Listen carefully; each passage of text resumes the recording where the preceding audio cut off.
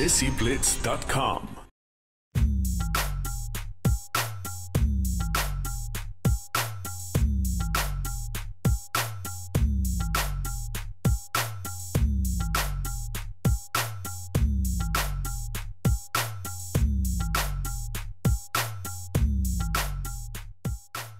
So, welcome to DesiBlitz.com.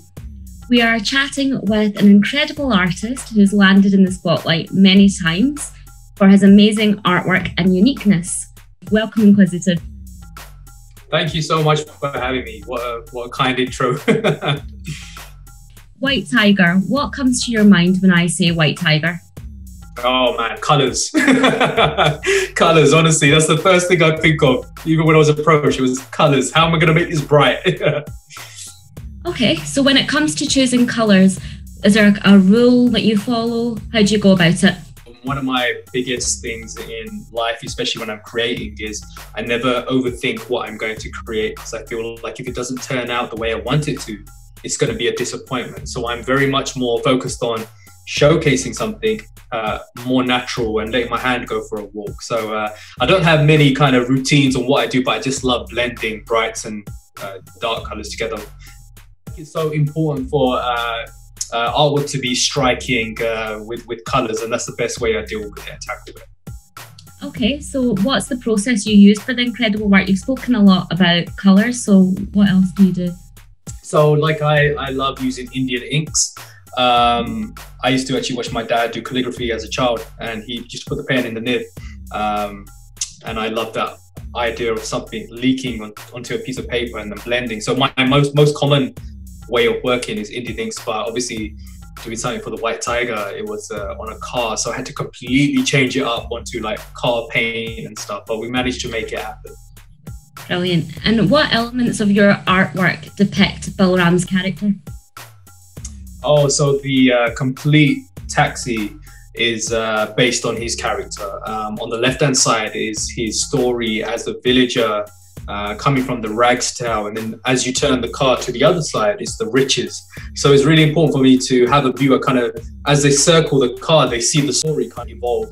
Um, and I love engaging my audience into uh, a story within a story. So there's focus on the on the on the front of the car, on the sides. The whole thing's mainly on Balaram and his journey from rags to riches. Right. And how long did it take you to complete your work?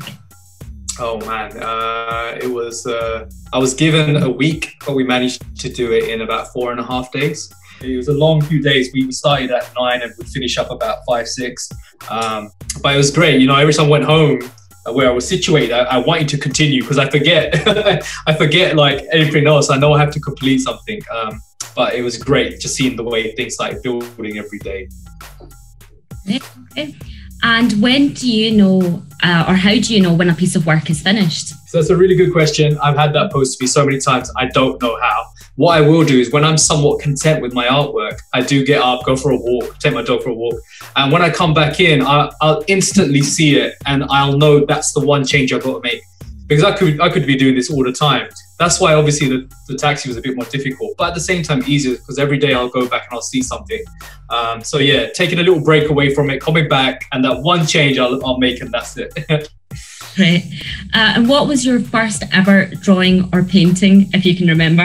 Oh wow, my first ever painting. Um, it was of uh, it was probably of Bruce Lee. Actually, one of my first ever paintings was a Bruce Lee. I'm a huge Bruce Lee fan, and when I shared that on Facebook, uh, it got it, it, his daughter happened to see it and she shared it. But I think going back and creating the style, it was probably of Bhagat Singh, one of the freedom fighters of India. Created something and people really took a liking to that. And then when I shared it on Facebook, it got spread everywhere, and that kind of started raising alarm bells. Who's this guy? Oh, this guy, cool. Great. So you've spoken about Bruce Lee there. Um, which artists inspire you and why? Ah, man, there's so many. Um, I would say Basquiat. I'm a huge fan of Basquiat. Um, I, am also a children's illustrator. Not many people know this. I'm a children's illustrator. So a lot of illustrators like David Hughes, Sara Fanelli.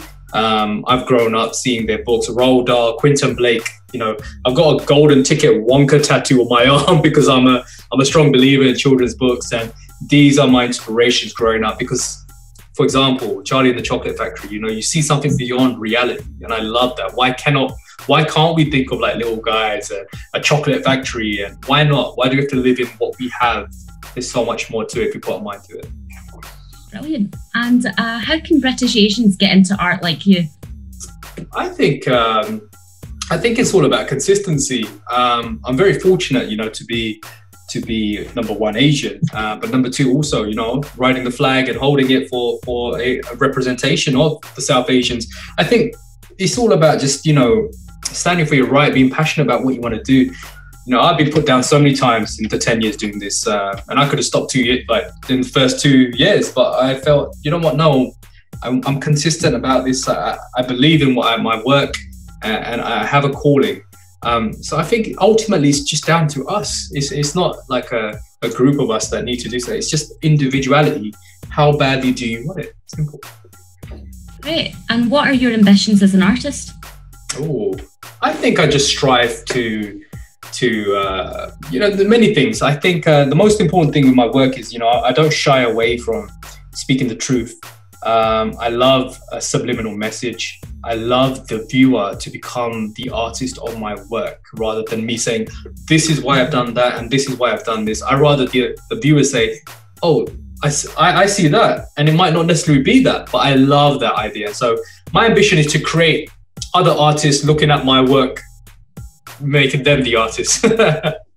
Brilliant. So you spoke a bit about culture there as well. Can you tell us three Desi things about you? I love butter chicken. um, uh, what else? Something Desi about me. Uh, oh man, you got me on the spot here. Uh, surprisingly, I'm I, am i am not very good at Bhangra, but I, I I love Bhangra music. I do like it. I don't share it, I do I do. I'm a, st- a strong believer in, in Bhangra, and you know. And another thing, I'm, a, I'm a, my ultimate weakness is garam gulab jamuns, like hot, like weakness, man. These are as desi as I get right now. Brilliant. It was lovely speaking with you today, Inkquisitive. Thank you so much for your time. Thank you so much for having me on the show.